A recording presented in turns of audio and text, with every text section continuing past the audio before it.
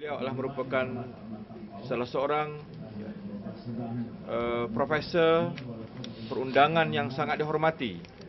Bukan sekadar di Malaysia tetapi di peringkat antarabangsa yang begitu uh, tersohor kewibawaannya dan pandangan-pandangan beliau khususnya mengenai perlembagaan.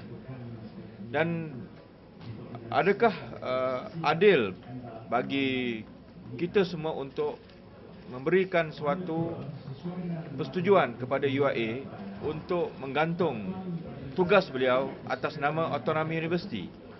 Jadi itu yang kita sangat pertikaikan dan uh, saya merasakan rakyat Malaysia perlu bangkit untuk bangun menegakkan suatu keadilan untuk Profesor Azebari yang hanya beliau menyatakan pandangannya dari sudut perlembagaan yang jelas menyatakan tugas dan peranan Raja-Raja Melayu yang disebut sebagai Raja berperlembagaan. Dan jika pandangan itu pun uh, dianggap uh, sebagai satu yang dikatakan kurang ajar atau menderhaka, saya rasa itu satu pandangan yang uh, terlalu naif yang kalau saya dan kita semua ingin uh, mengungkap kembali tentang isu kurang ajar ini, saya rasa ada pemimpin tertinggi negara yang pada satu waktu dahulu pun yang pernah mengeluarkan perkataan yang lebih jelek daripada itu. Jadi saya merasakan uh, itu tugas kita bersama dan saya telah bawa perkara ini ke dalam parlimen melalui uh, uh, usul ini tetapi ditolak oleh uh, speaker dalam kamar.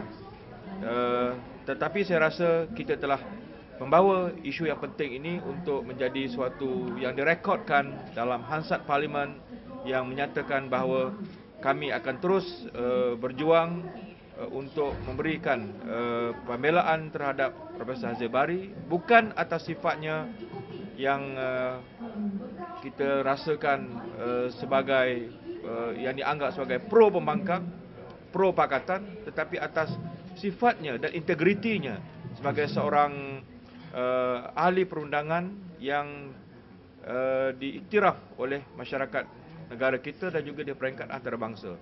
Jadi dia telah menjadikan uh, isu perlembagaan ini sebagai isu yang penting dan buku-buku dan jurnal-jurnal yang beliau tulis sangat dihormati dalam negara kita dan juga di luar negara yang saya rasa tindakan untuk menggantung beliau itu adalah merupakan satu tindakan yang sangat kita pertikaikan. Saya berhubung dengan beliau pagi tadi dan beliau menyebutkan bahawa suspension itu ya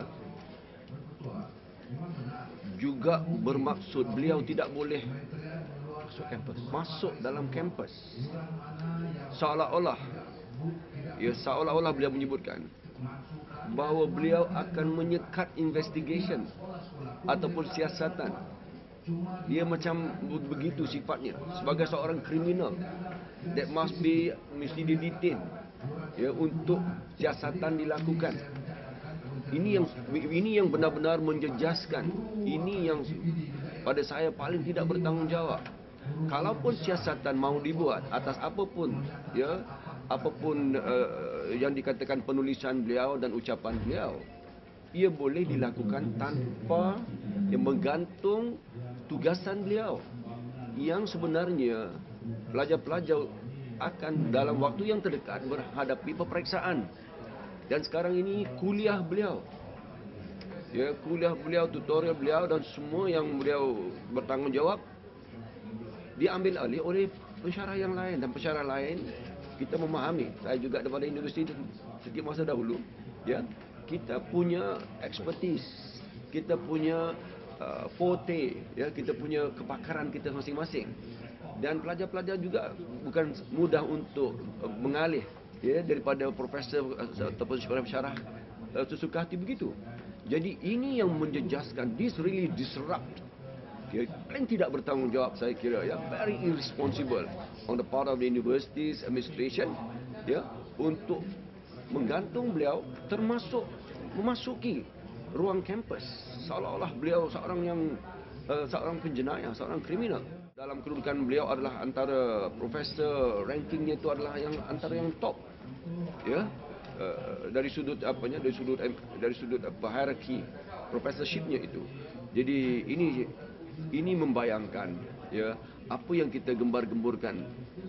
Apakah ini juga ya yang kita maksudkan ya uh, jatuhnya ranking kita ini di mana intellectual freedom and academia ya terjejas akibat ya pentadbiran universiti yang kau tim dan kau tahu itu di political masters.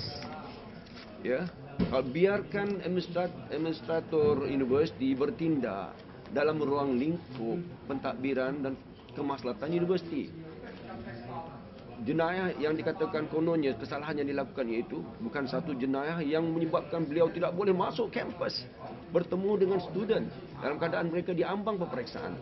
Ini paling tidak bertanggungjawab. Very irresponsible ya extremely irresponsible and deplorable ya